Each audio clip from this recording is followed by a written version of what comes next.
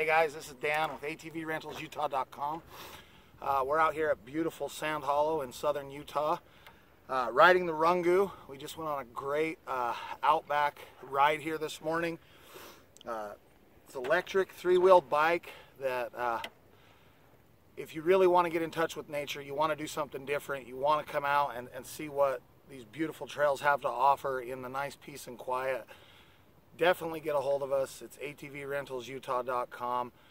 Set up an appointment, schedule to take one of these cool bikes out and go and have the time of your life. Have a great day.